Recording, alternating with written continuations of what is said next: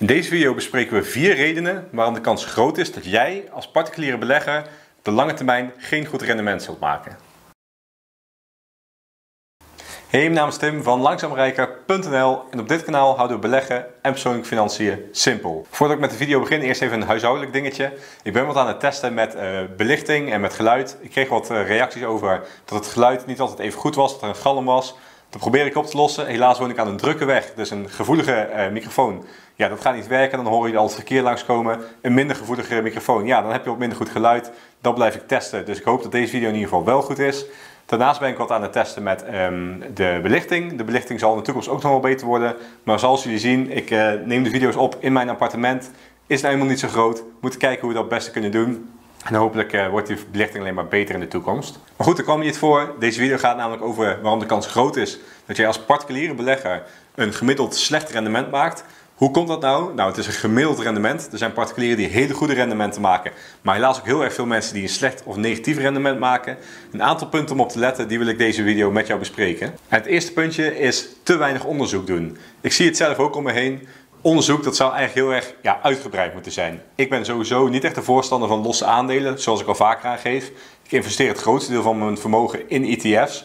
Maar als je dan toch losse aandelen wilt kopen, dan moet je ook echt goed onderzoek doen. Je ziet dat heel veel mensen kijken naar bijvoorbeeld een PI-ratio. Ziet die er goed uit vergeleken met de concurrentie? Ze kijken eventueel nog naar uh, de winsten of verliezen die het bedrijf heeft gemaakt. Heeft het uh, bedrijf jaar op jaar grotere winsten? Nou, dan vinden ze het mooi bedrijf en dan gaan ze investeren. Maar je zou het kunnen vergelijken met het kopen van een vastgoedbelegging. Stel je voor, je wilt een woning kopen om, uh, als belegging, dus om te gaan verhuren. Wat doe je dan? Je gaat natuurlijk naar het huis toe, je gaat die woning bekijken, een bezichtiging houden. Je kijkt of alles goed is, de elektriciteit goed werkt, eh, de afvoer goed werkt, of er geen verborgen gebreken zijn. Je kijkt of het huis goed geïsoleerd is, allemaal van dat soort punten. Maar bij aandelen doen heel veel mensen dat dus niet. Ze kijken maar naar een paar eh, vereisten, of eigenlijk een paar indicatoren. Een PE-ratio, een winst, eventueel een dividend. En op basis daarvan beslissen ze of ze een aandeel willen kopen. En wat je echt goed moet onthouden is dat je niet een aandeel koopt, ja, praktisch gezien natuurlijk wel. Maar je koopt niet een aandeel, je koopt een stukje van een bedrijf. Je moet dus weten hoe dat bedrijf werkt, hoe ze geld verdienen en of je daarachter staat. Of je denkt dat dat een goede manier is om geld te verdienen en of dat ja, ook toekomstbestendig is. Of dat in de toekomst ook nog zo uit zou kunnen zien. Of dat ze misschien een toekomstbeeld hebben om in de toekomst zelfs nog verder te groeien. Je koopt dus niet alleen een aandeel, je koopt een stukje van een bedrijf. Het gevolg is natuurlijk dat je een aandeel hebt en dat je dat aandeel in de toekomst mogelijk weer wilt verkopen voor meer geld. Dat is natuurlijk logisch. Maar bedenk dus goed welk bedrijf erachter zit. Nou ben ik ook niet een of andere guru die de toekomst kan voorspellen. Ik ben net zoals jullie maar een particuliere belegger. Maar voor mij is het bijvoorbeeld een reden om um, niet in luchtvaart te investeren. Er zijn heel veel mensen die nu in luchtvaartbedrijven investeren omdat ze kijken naar het aandeel. Ze bekijken waar staat het aandeel nu ten opzichte van voorheen. Uh, was het aandeel eerst bijvoorbeeld 100 euro waard, is het nu nog maar 20 euro waard. Dan hebben ze zoiets van, nou dan kan ik het nu kopen en later in de toekomst weer voor die 100 euro verkopen. Nou, ik zie dat zelf toch wel anders. Uh, ik zie dat luchtvaart het moeilijk heeft. Ze moeten duurzamer worden, ze moeten uh, daarin investeren, maar tegelijkertijd hebben ze het um, economisch of financieel gezien op dit moment heel erg moeilijk natuurlijk, vanwege de coronacrisis. En daarom heb ik zelf het idee dat luchtvaart voor de lange termijn niet per se een goede investering is. Dat is mijn persoonlijke mening. Het hoeft dus helemaal niet zo te zijn dat dat klopt. Maar dat is wel iets waar ik over na heb gedacht. Ik kijk dus niet alleen maar naar het aandeel, maar ik kijk ook naar het bedrijf. Ja, het aandeel staat laag. Ja, het aandeel stond een heel stuk hoger. Maar het is ook een bedrijf. Een bedrijf wat uh, moet verduurzamen. Luchtvaart moet steeds duurzamer worden. Ze hebben het financieel zwaar nu vanwege de coronacrisis.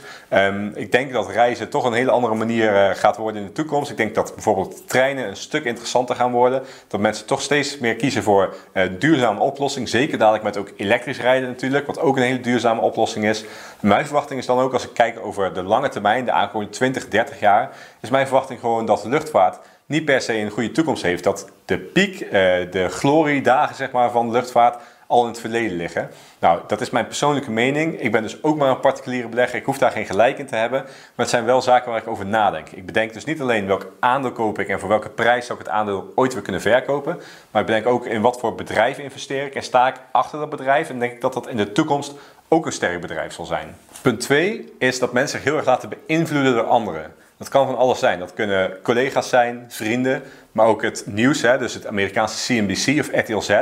Of natuurlijk YouTube-video's zoals die van mij of van andere YouTubers. En mensen laten zich daar veel te veel in meenemen. Ze zien iets, ze zien dat iemand ergens een mening over heeft en nemen dat al snel voor waarheid aan. Terwijl het helemaal niet zo hoeft te zijn. Heel vaak gaat het om de views. Ik zie dat uh, natuurlijk bij zo'n CNBC of een RTL Z. Die bespreken onderwerpen die op dit moment hot zijn, wat mensen willen zien. Maar hetzelfde ook op YouTube. Ik zie heel veel YouTube-video's over: gaat dit aandeel verdubbelen de aankomende weken? Of dit aandeel gaat mij rijk maken. Nou, met dat soort titels van video's moet je echt al je bedenkingen hebben. Ik zelf kijk ze niet eens. Er is maar één reden waarom die video's gemaakt worden. En dat is puur de advertentieinkomsten. Hoe meer views, hoe meer advertenties er bekeken worden en hoe meer de maker van die video verdient aan zo'n video. Laat je dus niet beïnvloeden door video's op YouTube, door uh, filmpjes op uh, eh, RTL Z of CNBC. Tuurlijk, je kunt het meenemen in je overweging, maar ga er niet meteen vanuit dat het ook klopt. Het is gewoon echt puur gebaseerd op hype. Je kunt dat ook weer vergelijken met kopen van vastgoed. Wanneer je vastgoed gaat kopen, dan ga je dus dat vastgoed bezichtigen om het uiteindelijk te kunnen verhuren. En dan heeft de makelaar allemaal mooie praatjes. Ze zeggen, hè, dubbel glas, goed geïsoleerd, er zit een dakkapel op, je kunt hier makkelijk 1200 euro per maand vervragen aan huur. Wat doe je daarmee? Natuurlijk, wat die makelaar zegt, dat neem je tot je, dat uh, hou je in je achterhoofd. Maar je gaat er niet meteen blindelings vanuit dat wat hij zegt ook klopt. Die makelaar die moet uiteindelijk ook geld verdienen. En die zegt dat dus ook met een reden. Nou, dat is hetzelfde met die YouTube-video's of met zo'n RTL Z of een CNBC. De enige reden dat die video's gemaakt worden of dat die kanalen bestaan, die tv-kanalen, is puur dat ze geld verdienen met de advertentieinkomsten. Ze willen dus zoveel mogelijk kijkers. Dat doen ze door hype-onderwerpen te bespreken. Hype-onderwerpen, ja, die doen het nu eenmaal goed. En daar moet je dus heel erg voor goed voor oppassen. Wat je ziet is dat bijvoorbeeld zo'n Virgin Galactic, wat ik niet per se een slecht bedrijf vind, maar even als voorbeeld, Virgin Galactic besproken wordt bij een groot YouTube-kanaal uit Amerika. Vervolgens gaan alle grote YouTube-kanalen, of in ieder geval alle financiële YouTube-kanalen in Amerika, dat aandeel bespreken. Ook in het Nederlands zie ik het terugkomen. En ja, iedereen praat eigenlijk elkaar na. Ze zien gewoon dat het een onderwerp wat het goed doet. Er zijn veel mensen eh, die daar interesse in hebben, maar dat komt doordat die video's gemaakt worden. Het is een beetje een kip en het ei verhaal. Meer views, meer advertentieinkomsten. Uiteindelijk wordt de maker van zo'n video of de maker van een tv-kanaal daar beter van. Maar jij als belegger moet die informatie tot je nemen en daar vervolgens iets mee doen. Ga er dus niet meteen vanuit dat die informatie ook klopt. Nee, doe altijd je eigen onderzoek. Het derde puntje is ja, een samenvatting van emotie en termijn. Dat is namelijk korte termijn emotie, zo noem ik het. wat bedoel ik nou met korte termijn emotie? Hiermee bedoel ik eigenlijk dat mensen um, op de korte termijn een soort um, ja, gevoel willen creëren van, nou, gewoon een lekker gevoel. Dus je wilt bijvoorbeeld een nieuwe auto kopen. Um, dat voelt gewoon fijn. Je hebt een nieuwe auto, daar heb je heel veel plezier van, voor een tijdje. Maar op een gegeven moment wordt die nieuwe auto ja, ook gewoon weer een gebruikte auto die je al een tijdje hebt. Wat je dus ziet is dat mensen soms uh, investeren in aandelen. Een paar jaar later, bijvoorbeeld twee jaar later, zoiets hebben. Nou, ik heb nog niks verdiend met die aandelen. Ik wil eigenlijk een nieuwe auto kopen. Weet je wat? Ik verkoop die aandelen en ik koop daar een nieuwe auto voor. Nou, beleggen doen ze dat niet meer, want beleggen, dat werkt niet voor hun. Ze hebben twee jaar lang geprobeerd, maar geen winst gemaakt. Ja, dan ga je dus gewoon nat. Dat zijn mensen die op de korte termijn geld willen verdienen. Op korte termijn ja, dat gevoel willen hebben van ik ben een winnaar. Dat kan dus door uh, winst te maken met, uh, met aandelen. Kan ook door een auto te kopen. Wat je ook ziet zijn dat vaak de mensen zijn die willen gaan daytraden bijvoorbeeld. Mensen zeggen nou ik wil niet lange termijn beleggen. Ik wil gewoon snelle winsten maken. Iedere maand 5% winst. Dat kan. Ik heb video's gezien op YouTube. Nou heel veel succes daarmee. Dat mag natuurlijk. Je mag het zeker proberen. Maar weet dat het overgrote deel van de mensen op de korte termijn gewoon verlies maakt. Dat zijn ook de mensen die het even kort proberen. Die zeggen nou ik heb geen winst gemaakt beleggen is niks voor mij, die zijn weer weg. En die mensen zorgen er ook voor dat die gemiddelde waarde van die beleggingen of die gemiddelde rendementen gewoon heel erg omlaag getrokken worden. Het zijn de mensen die voor het snelle geld zijn, daarvoor moet je niet bij beleggen zijn. Ook zie je dat heel veel mensen in paniek raken als er wat slechter nieuws is. Er is slecht nieuws, ja, dan raken ze wat in paniek en dan denken ze misschien moet ik nu toch maar gaan verkopen. Je ziet nu bijvoorbeeld met Trump, hè, die heeft nu corona. Stel je voor, uh, Trump moet, uh, uiteindelijk wordt hij opgenomen of beademd in het ziekenhuis of nog erger. Um, dan zul je zien dat er heel veel mensen in paniek raken en hun aandelen gaan verkopen.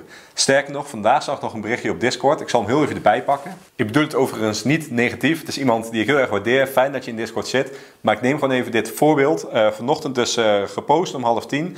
Waarbij hij aangaf nu de tweede golf aan de gang is. Engeland het land weer op slot doet. Andere landen uh, zullen gaan volgen. Komen steeds meer bedrijven in gevaar. Mensen thuis, geen geld om te geven. Hypotheek onder druk enzovoorts enzovoorts. En vervolgens komt het. Ik stel even een doemscenario voor. Als dit doorzet, dan geloof ik dat begin volgend jaar we een nieuwe crash zien aankomen. Nou, even los van uh, of ik dit wel of niet uh, ermee eens ben. Ja, ik denk ook dat er slechtere tijden aan zitten komen. Maar ja, een crash voorspellen en zeggen begin volgend jaar, dat kan natuurlijk al niet. Um, vervolgens zegt hij, uh, wat denken jullie? Een exit-strategie en daarna weer een aankoopstrategie. Welke markten gaan dan echt onderuit? of valt het allemaal wel mee? Nogmaals, het is een zeer gewaardeerd lid, dus ehm, ik bedoel het niet negatief, maar dankjewel voor het voorbeeld.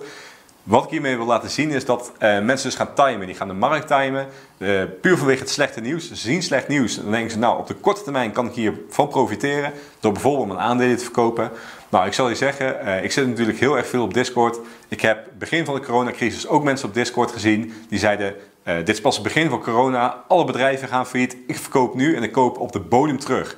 Nou, die mensen wisten natuurlijk helemaal niet wat de bodem was, dat kun je helemaal niet weten. Maar goed, die hebben alles verkocht, alle aandelen verkocht, zijn in cash gaan zitten.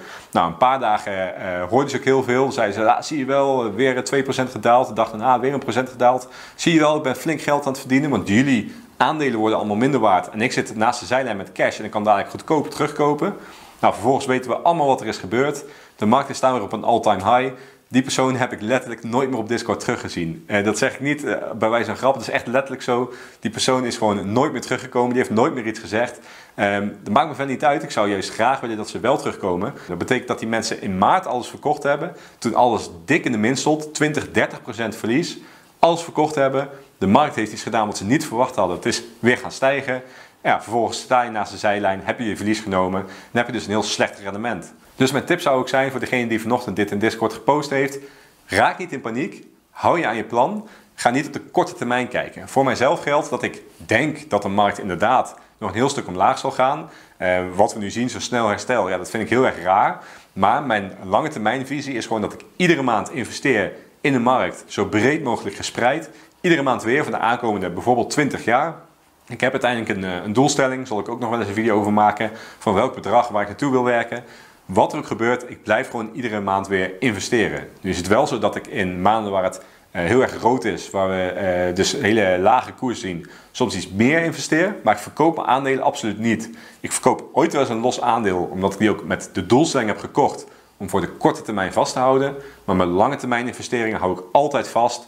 Die ga ik niet verkopen. Ook al komt er een derde of een vierde coronagolf. Ik ga het niet verkopen, ik laat het staan, ik koop zelfs bij. En voor de lange termijn moet het dan goed komen, want mijn langetermijnvisie is om altijd maar bij te kopen, een gemiddelde prijs te kopen de aankomende tientallen jaren en over 20, 30 jaar een mooi rendement gemaakt te hebben om uiteindelijk financieel vrij te worden. Het begint al een aardig lange video te worden. Ik weet niet hoe lang we nu bezig zijn. Ik ben nu 21 eh, minuten aan het filmen.